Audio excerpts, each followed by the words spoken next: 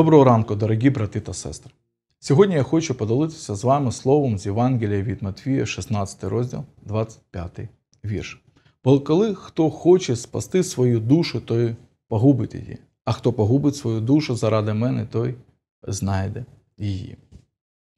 Неплоті кров відкрили учням, що Ісус Син Божий, але Отець на небесах. Тому Господь вирішив, що йому можна відкривати учням, що йому треба йти до Єрусалима, багато постраждати від старішин, первосвященників, книжників і бути вбитим, щоб на третій день воскреснути. Учням не подобалася частина служіння Ісуса, яка була пов'язана із півчуттям. Їм подобалося примножувати хліб, ганяти по храму бичем торгівців, зцілювати хворих, виганяти бісів, воскрешати мертвих, проповідувати натовпам народу і залишати, соромитися фарисеїв.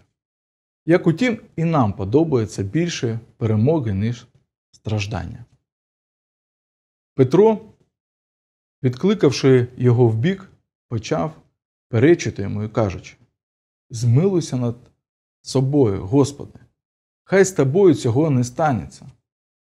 А він, обернувшись, сказав Петрові: Відійди від мене, сатана, ти спокушаєш мене, бо думаєш не про Боже, а про людське.